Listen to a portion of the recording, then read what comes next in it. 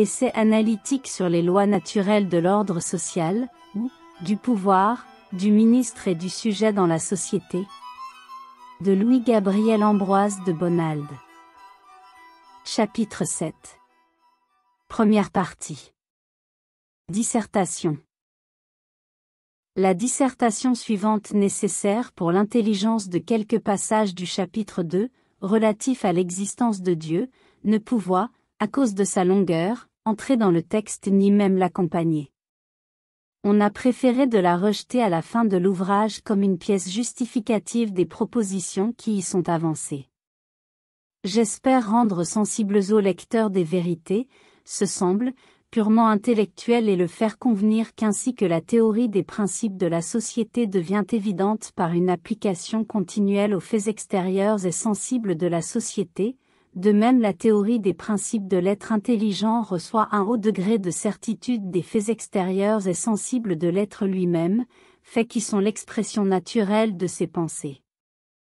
Dans ces deux théories, celle de l'être et celle de ses rapports en société, consiste toute la métaphysique.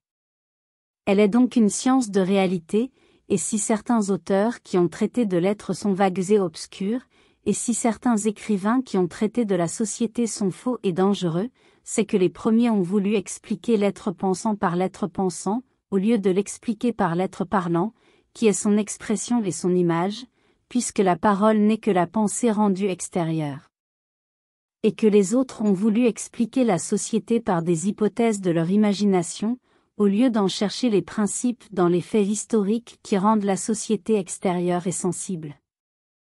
Car les faits de la société expriment la nature bonne ou mauvaise de ses lois, comme les actions de l'homme expriment la nature bonne ou mauvaise de sa volonté. Cette dissertation, tout abrégée qu'elle est, est donc au principe de l'homme, ce que l'essai qui la précède est au principe de la société.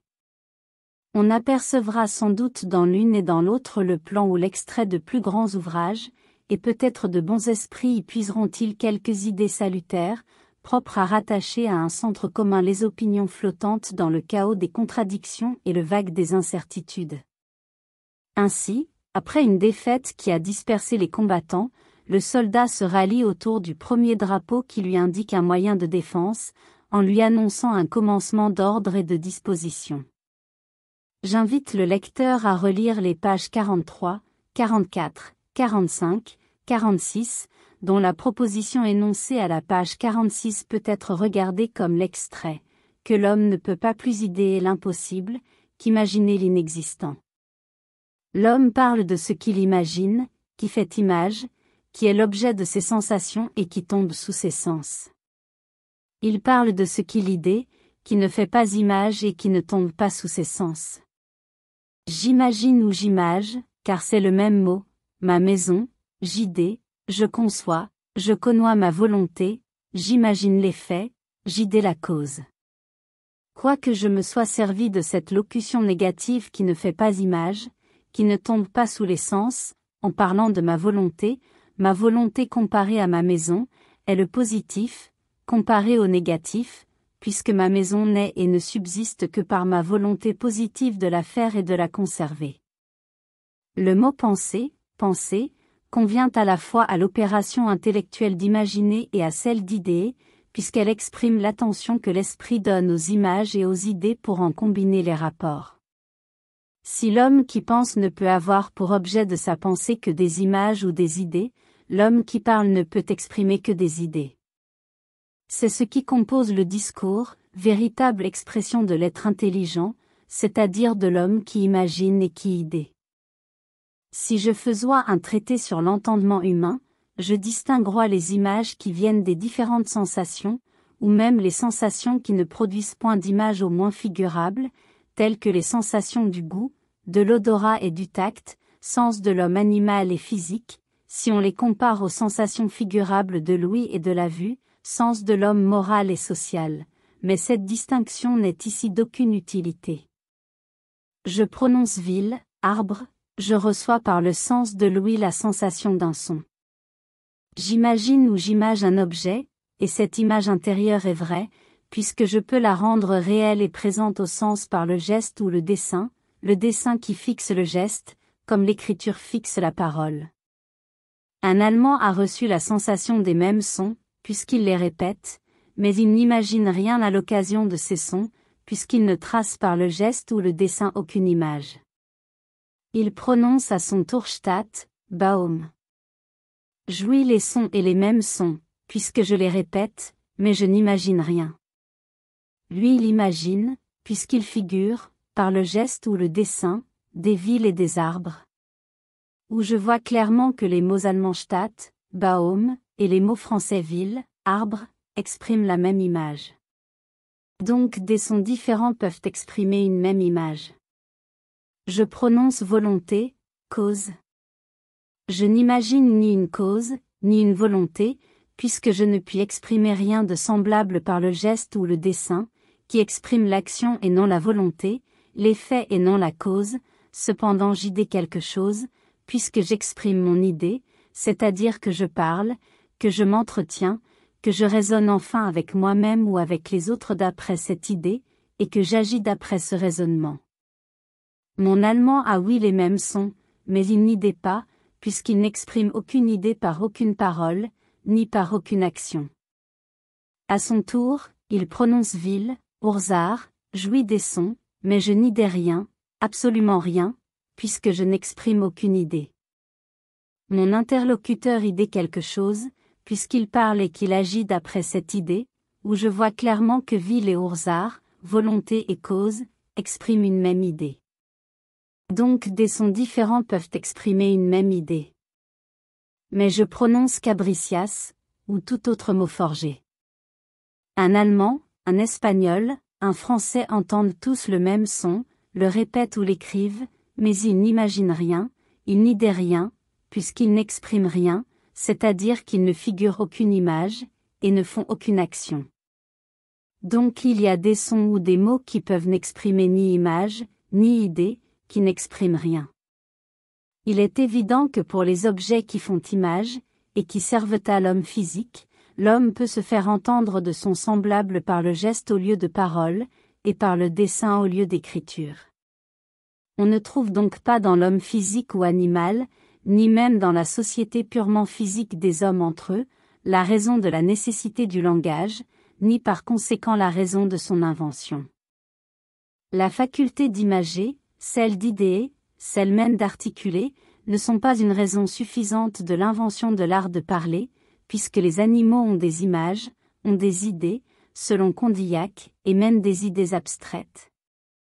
Qu'ils ne sont pas tous privés de la faculté d'articuler, que plusieurs apprennent même à parler nos idées, et que cependant rien ne nous indique qu'ils parlent les leurs, ni même qu'ils aient besoin de parler, parce qu'égaux en instinct, dans chaque espèce, comme en appétit, ils se rencontrent par la réciprocité et la correspondance de leurs mouvements, sans qu'il leur soit nécessaire de s'entendre par une communication de pensée. On voit, pour tirer des conclusions pratiques de tout ce qui a précédé, la raison pour laquelle l'homme enfant et les peuples enfants parlent beaucoup par image, c'est-à-dire, par le geste et le dessin ou l'écriture hiéroglyphique. C'est qu'ils pensent beaucoup par image, qu'ils imaginent beaucoup, ont beaucoup d'imagination, et s'occupent plus des effets que des causes, du particulier que du général. L'homme plus instruit et les peuples plus avancés dans la civilisation s'occupent de causes ou d'objets généraux et intellectuels, autant ou plus que d'effets ou d'objets particuliers et sensibles, ils pensent beaucoup par idées, idées beaucoup, ont beaucoup d'esprit, expriment aussi beaucoup d'idées avec la parole et l'écriture des idées, ou l'écriture vocale, celle des Hébreux, qui est la nôtre. Mais lorsqu'un peuple fait marcher de front les images et les idées, qu'il cultive à la fois son imagination et sa raison, il emploie aussi dans son expression ou son discours beaucoup d'images ou de figures, non des figures matérielles, comme celles qui se font avec le geste ou le dessin, mais des figures idéales qu'on appelle oratoires, celles qui forment le style figuré et métaphorique. C'est ce qui fait que la langue française est dans sa simplicité, la plus métaphorique des langues, et que le peuple qui la parle, malgré la modestie de son élocution simple et sans geste, est dans son expression, le plus figuré de tous les peuples. Ainsi, un enfant a des images avant d'avoir des idées.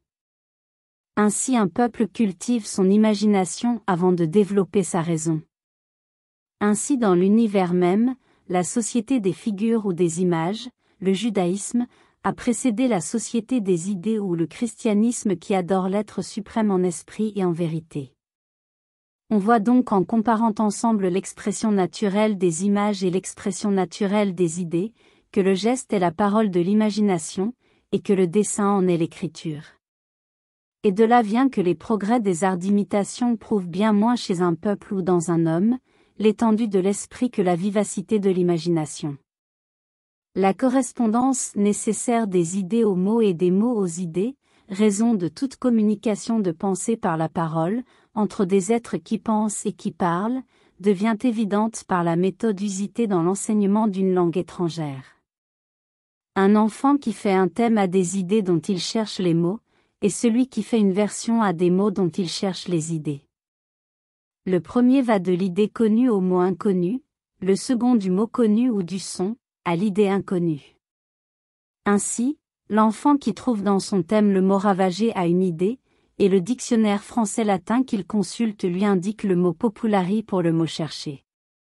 Celui qui dans sa version trouve le mot obédiré, a un mot sans idée, ou plutôt un son et le dictionnaire latin-français lui donne obéir pour l'idée qu'il cherchoit, et qui correspond à ce son. En sorte que le dictionnaire est pour l'un un recueil d'idées, et pour l'autre un recueil de mots.